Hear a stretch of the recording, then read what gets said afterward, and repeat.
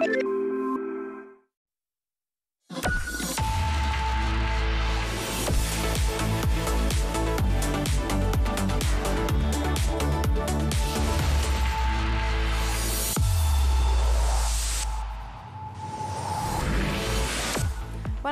Acostar-se a la bellesa sovint fa vertigen a causa dels prejudicis i estereotips que tenim al voltant de fer anys, de complir-los. Avui, però, veurem que si es té actitud i salut, superar l'edat de jubilació no ha de ser una limitació en cap sentit.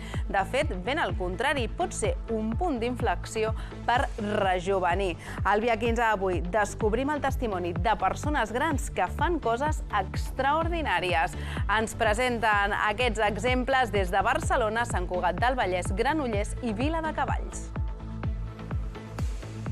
A Barcelona us presentarem la Pepita Bernat.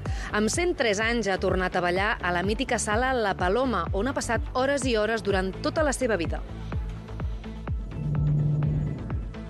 En el cas de Sant Cugat del Vallès, avui ens quedem aquí, a Ràdio Sant Cugat. I és que avui, a més a més de ser el Dia Mundial de la Ràdio, volem posar en valor la figura d'una persona molt especial d'aquesta casa, una persona extraordinàriament activa. És l'Eduard Genet, té 83 anys i des de fa 10 anys presenta el Molta Comèdia, un programa de cultura aquí a la casa. Des de Granollers us explicarem la història de la Reme Aguilera, una atleta de 72 anys que en fa gairebé 15 que corre mitges maratons. I ja us podem avançar que té energia de sobres per poder seguir corrent. I a Vila de Cavalls coneixerem en Joan, un veí que està aprofitant la jubilació per dedicar-se a una de les seves grans passions, la muntanya. Oblidats els horaris laborals, les seves cames acumulen quilòmetres amb travesses de fins a 10 hores qualsevol dia de la setmana. Durant els propers minuts us explicarem que entitats socials i ecologistes han convocat una manifestació unitària a Barcelona contra l'ampliació de l'aeroport, el Hard Rock i el quart cinturó, macroprojectes vinculats a l'aprovació dels pressupostos. Serà el dissabte 4 de març amb el lema Defensem la terra, construïm el futur. I avui també ha estat notícia la reobertura de la biblioteca Can Casa Coberta de Badalona després de 3 anys tancada per deficiències tècniques. Ho fa, però, de manera parcial perquè la sala infantil segueix sense estar condicionada.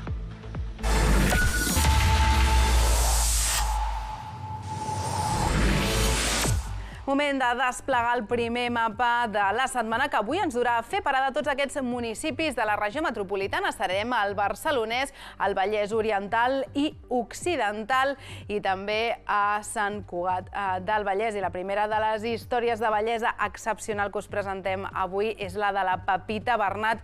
Durant la joventut era una habitual de la sala Paloma, on ha ballat i viscut experiències úniques infinitat de vegades. Té 103 anys d'edat i em sembla, Laura Àries, que continua amb les mateixes ganes de moure's que quan era joveneta. Exacte, les mateixes o més. Però deixeu-me que us en faci 5 cèntims de la seva vida. La Pepita Bernat va néixer l'any 1919 i ara fa aproximadament uns 90 anys que va entrar per primera vegada en aquesta sala que tinc aquí al darrere. És la mítica sala La Paloma, situada al Raval de Barcelona. Aquella va ser la primera vegada de moltes, perquè la Pepita es va convertir en una habitual. De fet, ballar és una de les seves passions, és una de les coses que més li agrada fer encara a dia d'avui, amb 103 anys. Però millor que us ho expliqui ella de viva veu. Des que tenia 13 o 14 anys, la Pepita feia trampetes per entrar a la sala La Paloma per fer el que més li agrada, ballar. Jo he equivocat l'ofici. Havia de ser bailarina. La que li agrada el ball, encara que vagi coixa, l'edat que tingui anirà a ballar. És la veterana d'aquesta sala de ball. De joveneta hi venia molt sovint i té anècdotes de tot tipus. Veig que ve un senyor molt ben plantat i els dic a les meves amigues no mireu, perquè per allà ve un senyor que treu l'hipo, però no mireu ara, eh? I en vez de treure ballant la que estava a la punta, em treu a mi que estic aquí al racó. Mira, ai, vaig ballar amb aquell home més vegades. Ballava divinament. I ens vam fer molt amics. Sí, molt amics. I sempre que venia la Paloma ja venia a buscar-me a ballar. Un cop casada, la Pepita va continuar venint a les tardes d'amagat. El meu marit treballava, pobret, que ja li convenia. I jo a la tarda venia a ballar. Venia a Barcelona, veritat. que venia a fer alguna per mi. Dinava de pressa i a les 5 o les 6 de la tarda a la Paloma. Fins a les 7, que havia d'agafar el tren, passàvem al poble. Arribava a casa, feia el sopar i no havia passat res. Perquè si tu te'n vas de caixeria tots els diumenges i jo m'haig de quedar a casa tota la setmana sense sortir, ho sento. Ho sento, tu vés a caçar, jo aniré a ballar. No li vaig dir mai. No sé, ni se'n va enterar mai. La Paloma ha estat tancada des del gener del 2007 i aquest 2023 és l'any de la reobertura. La nit del 31 de desembre s'hi va celebrar un tastet, una festa de cap d'any. Amb 103 anys, la Pepita no hi va faltar. Estava desitjant que s'obrís la Paloma per vindre a renovar la meva joventut. No va marxar fins a quarts de cinc de la nit. Això sí, amb la promesa que quan la Paloma aixequi definitivament la persiana, no hi faltarà. El dia que obren estic aquí. He de vindre a obrir-la jo. Una idea de l'energia que té aquesta dona centenària. Encara diu que la nit de cap d'any se li va fer curta. Així doncs que es prepari la pista de ball de la Paloma quan reobri definitivament, perquè com un clau allà hi serà la Pepita Bernat. Doncs un fenomen, sens dubte, la Pepita, i esperem que pugui gaudir de moltes més nits aquí a la Paloma. Que, per cert, Laura, no sé si tu t'hi veus amb 103 anys i sortint a ballar les nits. A vegades dubto de si m'hi veig ara, Laura. L'energia d'aquesta dona és envejable fins i tot amb l'edat que tinc ara. Doncs sí, a mi em passa una mica igual, Laura. Vinga, fins demà, que vagi molt bé. I avui, que és el Dia Mundial de la Ràdio, aprofitem per conèixer un comunicador que en fa més de 30 que està darrere els micròfons de Ràdio Sant Cugat. És l'Eduard Gené, de 83, i condueix des d'en fa 10 el Molta Comèdia, un programa dedicat a les arts escèniques. Sergio Morales, a més, ens han explicat que és una d'aquestes persones que no para i que te'ls trobes a tots els saraus que munteu aquí a Sant Cugat. És, és una barbaritat, bona tarda, és una barbaritat perquè l'Eduard realment te'l trobes a tot arreu, a tot arreu, i sobretot si hi ha moguda cultural, ell no es perd ni una. A més, és molt fàcil de veure perquè l'Eduard sempre porta un barret, porta una barba blanca i és una persona que és molt fàcilment identificable. Porta vinculat a aquesta casa la tira d'anys. Porta 10 anys fent el molta comèdia, però ja abans el magazín matinal ja feia una secció amb el mateix nom, amb el nom de molta comèdia, on analitzava l'actualitat cultural del municipi municipi. Li hem preguntat una mica quina vinculació té ell amb els mitjans de comunicació i això és el que ens ha dit. Vaig començar l'activitat sobretot a, la ràdio, aquí, a l'any 85, a partir d'una conversa amb en Ramon Grau, amb un programa de música clàssica i a partir d'aquell moment, a continuació, després al cap d'uns anys, vaig començar a col·laborar amb el diari de Sant Cugat per fer les crítiques del Teatre Auditori. És a dir, aquesta és una activitat que la faig des de fa gairebé 30 anys. Porta moltíssims anys, ja ho veieu, l'Eduard no para ni un moment. I la pregunta que ens ve al cap és, Eduard, d'on treus les energies? I això és el que ens ha dit. En definitiva, l'única fórmula que tenim per poder viure és precisament aquesta. El dir, el dir viure, vull dir, viure en tots els sentits, plenament assegut mirant la tele, la tele per exemple, o, o mirant com fan obres que es feia, feia molt abans, això no, no, no té res. Una persona molt, molt activa. Per cert, si voleu sentir l'Eduard fent de les seves aquí al 91.5 de la FM, és molt fàcil. Cada dijous al 91.5 de la FM el trobareu. I també en mitjans més moderns. Via podcast també podeu sentir el Molta Comèdia. Doncs ens apuntem per seguir l'Eduard i jo m'he apuntat també la cita que ha fet de viure amb tots els sentits. Ens ho hauríem d'aplicar tots nosaltres. Gràcies, Sergio, que vagi bé. I com hem vist, hi ha qui té passió per comunicar, com l'Eduard, i hi ha qui la té per ensenyar. Ara us volem presentar una mestra que fa 14 anys que està jubilada oficialment, però que segueix fent classes i posant-se al capdavant de tota mena d'activitats educatives i culturals. Ara lidera un taller d'estimulació cognitiva a un dels casals de gent gran de l'Hospitalet de Llobregat. Som al casal de gent gran de Canarús, al barri del centre de l'Hospitalet, i això s'ha esdevingut una aula, perquè aquest és el territori on la nostra protagonista s'hi ha sentit tota la seva vida més còmoda. Aquesta vocació docent, aquesta vocació per ensenyar, per despertar la curiositat, la porta fins a l'extrem, ja que fins i tot un cop retirada de la docència, de la vida laboral activa, continua fent classe a diversos llocs de la ciutat. Eh, Juana Villazán Povedano. profesora de 58 años de aulas. Mira, yo me tenía que haber jubilado a los 60 y me jubilé a los 63 porque yo lo que no quería era salir de las aulas. Y de pronto pensé, vamos a ver, para yo seguir en la docencia no necesito estar en la enseñanza oficial, rellenando papeles, aguantando administraciones, y me lo pensé en una semana. Yo me caracterizo con esta gente es empatía y paciencia, y no quiero dejar atrás a ninguno. Por eso he hecho tres grupos diferentes, porque hay gente que necesita una ayuda más individualizada.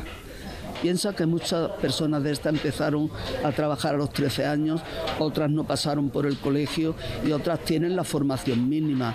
Mm, quiero que abrirle caminos de, de temas culturales que no han visto nunca ni, ni han oído. Pero esta gente, como perdieron tantos trenes, y ellos ven que alguien les, de- si tú les dedicas mucho tiempo realmente y lo ven, que les dedicas, les preparas, lo agradecen muchísimo. Y cuando esta gente le hablas de alguna cuestión cultural y los ves tan agradecidos, yo creo, ya me reconforta.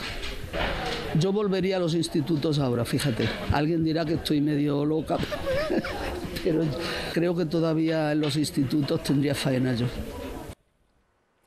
La Juana, un exemple de persona que fa d'aquest un, molt un món millor. I un altre cas de dona gran extraordinària el trobem a Granollers. La Remi Aguilera és una atleta de 72 anys que en fa gairebé 15 que corre, ni més ni menys que mitges maratons. Tot un exemple que l'edat és només un número per moltes persones.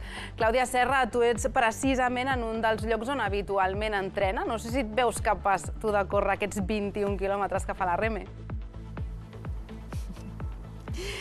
Doncs, sincerament, Laura, no em veig capaç ni de córrer en un de seguit. Està clar que això de córrer no està fet per mi, sí, però que és la gran afició de la Reme Aguilar. Nosaltres, com deies, som al passeig fluvial del riu Congost, a Granollers, un dels espais on habitualment ella entrena, es prepara per córrer eh, curses d'alta intensitat com mitges maratons. Ella va començar caminant en alta muntanya, una afició que compartia amb bona part de la seva família, però ara fa uns 15 anys, quan tenia 60 anys, va decidir fer un pas endavant i començar a córrer. Des d'aleshores eh, s'ha preparat per córrer curses de 10 quilòmetres, com la cursa dels bombers, per exemple, i fins i tot mitges maratons de 21 quilòmetres, com la mitja de Barcelona. Entrena de mitjana tres cops a la setmana, amb un altre grup de persones que, com us podeu imaginar, majoritàriament són molt més joves que ella. I també amb monitors i monitores que li ensenyen tècniques per poder córrer millor. Una afició, la de córrer, que per ella és sinònim de felicitat. Jo, mentre es trobi bé, jo i qualsevol que vulgui eh, l'agradi, sí, sí, o no que, que tingui, jo que sé, malament algú que no pugui córrer o pugui fer una altra cosa, jo sí, mentre pugui, jo sí, no me plantejo. A veure, jo és que l'edat tampoc me la...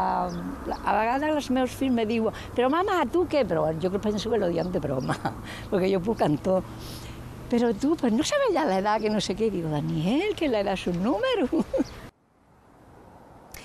Ara fa una mica més d'una setmana, el 5 de febrer, la Reme s'havia preparat per córrer la mitja de casa. La mitja marató Granollers, les Franqueses, la Garriga. Havia de ser la seva segona vegada en aquesta cursa, però malauradament una lesió a l'esquena li va impedir poder participar. Això sí, només escolta- escoltant-la ja podeu veure que té energia de sobres per seguir corrent, això sí, un cop estigui ja recuperada. I ho aconseguirà i segur que pot córrer la següent mitja marató. Gràcies, Clàudia. Doncs com en el cas de la Reme, a Viladecavalls trobem un altre atleta d'edat avançada que fa coses que molts joves ni somiaríem a fer. En Joan Dueso ha estat sempre una persona molt amant de l'activitat física, però amb la jubilació ha pogut multiplicar els quilòmetres que fan les seves cames i ara s'està preparant per fer la Transpirinenca. Enric Ventura, tu que deus tenir aproximadament la meitat d'anys que el Joan, li pots seguir el ritme? Doncs, Laura, la veritat és que vaig estar a punt de desmaiar-me i no t'estic exagerant en cap cas. Tots els que ens esteu veient, no intenteu mai de la vida seguir el ritme d'en Joan i els seus companys, eh, sobretot carregant a sobre un equip de gravació. I és que són tots jubilats, però van amb un ritme que em fa l'efecte que ja signaríem la majoria de treballadors suposadament actius. El Joan eh, treballava de comercial en una distribuïdora de fusta i va tenir l'oportunitat de jubilar-se ara fa un, fa un any, quan ell en tenia 63, perquè portava tota la vida a la mateixa empresa des dels 16 anys i va voler aprofitar aquesta oportunitat per jubilar-se tan bon punt va poder per poder gaudir d'aquest temps ara que està bé de salut. I així ho està fent, està invertint aquest temps en les seves dues grans passions, per una banda el bricolatge i de l'altra la muntanya. Com has dit, Laura, ell ja era una persona activa, però és clar, ara amb l'agenda totalment eh, buida, pot aprofitar per anar a caminar les hores que siguin. Qualsevol dia de la setmana fa travesses d'entre 6 i 10 hores, està descobrint tots els camins i corriols de la comarca i més enllà, aprofitant, per exemple, per anar a passejar per tots els racons de Sant Llorenç del Munt, per fer la volta sencera a Montserrat, que són uns 25 quilòmetres, i fins i tot projectes de més envergadura, com el que està començant a preparar per aquest estiu, que és fer aquest sender de gran recorregut de més de 800 quilòmetres la senda pirinaica, que és de, de, de, des de, bueno, des, des de, des d'un mar fins a l'altre, des del mar Mediterrani Cap de Creus fins, a, fins al, al Cabo de Iger, i, i, i, i, i, bueno, i prolongat, eh, prolongant-se per tots els Pirineus. No? Tot aquest. Ho estem mirant, ho estem estudiant eh, i hem de veure una miqueta de, de no carregar molt tampoc els dies perquè, perquè volem, per, eh, volem fer, eh, fer tres blocs amb aquesta, amb aquesta ruta, volem fer, eh, eh seccionar-ho amb, amb tres blocs i aquests blocs més o menys d'uns 10 dies. Ja ho veieu que no s'hi posa per poc el Joan i és que, a veure, és evident que està molt bé per mantenir una bona forma i una salut eh, física correcta, això de sortir a caminar i anar per la muntanya, però també m'agradaria destacar un altre component mental molt important, com és el fet de sortir a caminar acompanyat, que a banda de ser una mesura de seguretat bàsica a la muntanya, també és molt saludable perquè ajuda a una cosa tan important com és en aquestes edats, com mantenir les relacions socials. I tant. Gràcies, Enric, per presentar-nos al Joan un exemple, sens dubte, de persona gran que fa coses extraordinàries, com la Reme, com la Pita, com tots els casos que hem vist avui al llarg del programa i que era un petit homenatge que hem volgut fer des del dia 15, perquè les persones grans, com deien, poden fer qualsevol cosa que es proposin.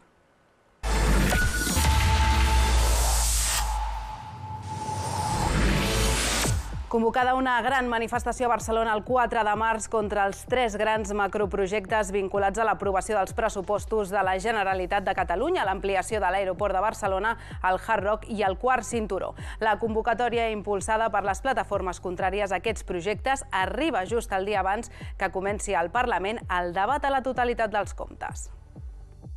La protesta del 4 de març aspira a ser una gran manifestació de país, segons han anunciat els convocants. Els impulsors són la plataforma Aturem Hard Rock, Zero Port i la campanya contra el quart cinturó, però asseguren que estan en converses amb altres entitats per ampliar el nombre d'adhesions. Sabem que serà una manifestació de país, perquè el que posem en qüestió és tot el model econòmic i social de tot el país. Les tres entitats rebutgen els tres grans projectes que figuren a l'acord de pressupostos entre el govern d'Esquerra Republicana i el PSC. És és la clau per a poder ser respectats i deixar de ser decorats on els polítics fan i desfan com els dicta el mercat. El govern pretén fer-nos creure que es preocupa pel canvi climàtic, per la reducció de la desigualtat, la millora de la biodiversitat i la transformació econòmica.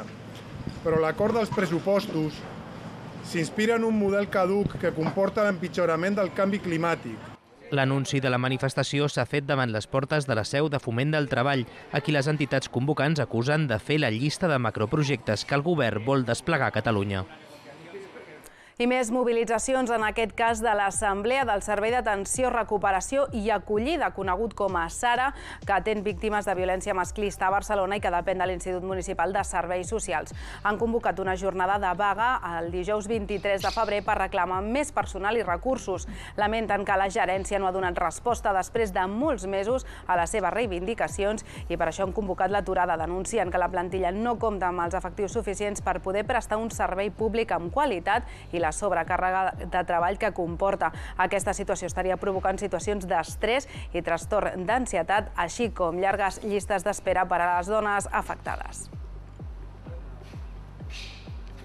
L'entitat Arrels Fundació i una quinzena de centres educatius de Barcelona i l'Hospitalet pentinen aquests dies als carrers per fer un mapa del que es coneix com a arquitectura hostil. Es tracta de barreres arquitectòniques que alguns justifiquen per combatre l'incivisme, però que fan molt difícil el dia a dia de les persones sense llar han sortit puntuals a les 11 del centre educatiu per pentinar Barcelona la recerca de barreres arquitectòniques que fan més difícil el dia a dia de les persones sense llar. I al cap de res ja n'han detectat la primera, un portal blindat perquè ningú no s'hi pugui instal·lar i uns metres més enllà, punxes a terra per evitar justament el mateix. És el que es coneix com a arquitectura hostil i Arrels Fundació s'ha proposat recollir-ne tots els exemples i actualitzar un mapa digital. Ho fa amb l'ajut de més de 300 alumnes de la ciutat i la veïna, l'Hospitalet. A mí me ha ayudado a darme cuenta y a fijarme más por las calles. Està molt mal fet, que és un, com un pas enrere, i un pas endavant cap a l'exclusió social. Que per una part penses que sí que és una falta de respecte que això existeixi, però per altra penses que no hauria d'existir aquesta polèmica perquè haurien de tenir els recursos suficients per poder dormir dignament a un sostre.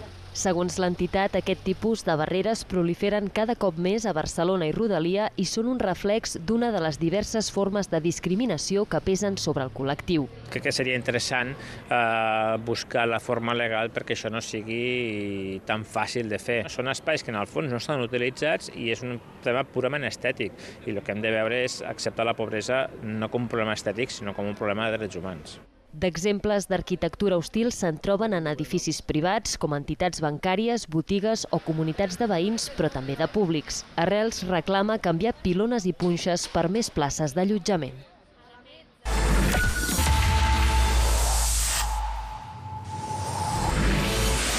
Badalona recupera un equipament fonamental de la ciutat. La Biblioteca Can Casa Coberta, la més gran i important del municipi, ha reobert les seves portes després de més de 3 anys des que va tancar el públic. Ara bé, hi ha matisos, ja que la reobertura no és total. La sala infantil continua sense estar condicionada. Tot i així, Anna Fàbrega, com ha anat aquest primer dia? Hola, Laura. Doncs, com bé deies, ha sigut una reobertura a mitges tintes i una mica controvertida. Tot i que s'hagin obert les portes de la biblioteca, els més petits hauran d'esperar per fer ús de la secció infantil, ja que s'han d'adequar als sistemes d'evacuació en cas d'emergència. Un fet que implica que hagin de fer les activitats que els hi pertoquen i el sistema de préstec en el Centre Cultural El Carme, que és un altre equipament de la ciutat. Per la seva banda, la regidora de Cultura, Anna Maria Lara, encara no ha donat una data de reobertura definitiva i completa. S'està licitant a punt d'adjudicar i la previsió que aquestes obres se facin el, el més aviat possible i es pugui, es pugui obrir. Properament, jo crec que la setmana que ara el dia 7 doncs, eh, però la setmana que ve o l'altra ja estarà adjudicat i l'empresa haurà de fer les obres. Entre altres aspectes pendents, eh, encara s'està treballant amb la coberta per evitar filtracions. Els canvis més notables que s'han fet durant aquests més de 3 anys que ha estat tancat l'equipament han sigut la millora del sistema de climatització, la millora de l'accessibilitat amb un ascensor i l'actualització dels extintors. Durant la jornada d'avui han sigut molts els usuaris que s'han apropat per estrenar aquestes noves infraestructures.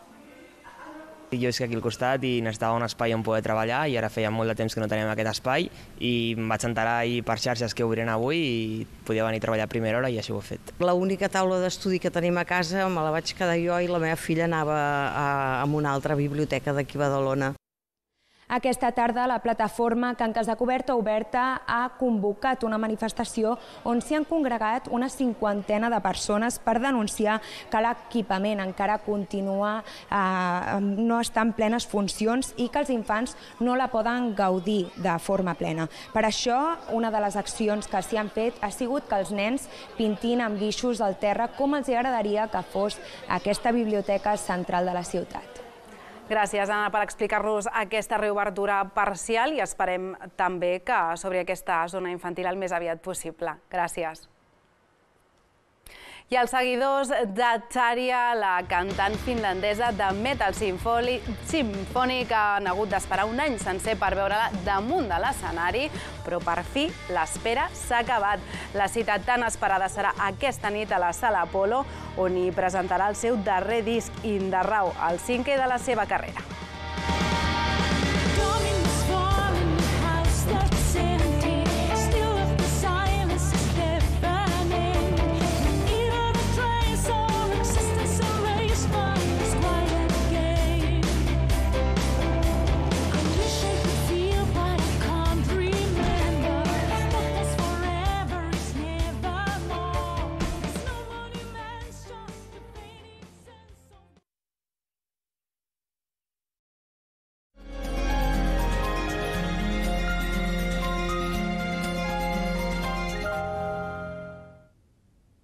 Hola, hem començat eh, la setmana amb una jornada molt tranquil·la pel que fa al temps a les comarques de Barcelona, amb predomini del sol, amb fred eh, matinal, això sí, i al llarg de les properes hores hem d'esperar pocs eh, canvis. En general es manté el predomini de l'anticicló sobre el continent europeu que bloquejarà l'entrada de les precipitacions que s'apropen des de l'Atlàntic. Per tant, esperem pocs canvis al llarg d'aquestes properes jornades. De cara al dimarts al matí hem d'esperar un cel serè o poc ennuvolat, només amb alguns intervals de núvols baixos que sobretot seran una mica més abundants fins a primera hora del matí. Temperatura matinal que serà una mica més alta que la del dilluns. I de cara a la tarda doncs, hem d'esperar que es mantingui el predomini del sol, però això sí, amb l'arribada d'aquestes eh, bandes de, de núvols alts eh, que estones seran fins i tot nombroses, sobretot eh, a partir del final del dia. També presència d'alguns intervals de núvols a punts del prelitoral i una temperatura que al centre de la jornada no ha d'experimentar canvis significatius. I això és tot de moment des del Servei Meteorològic de Catalunya.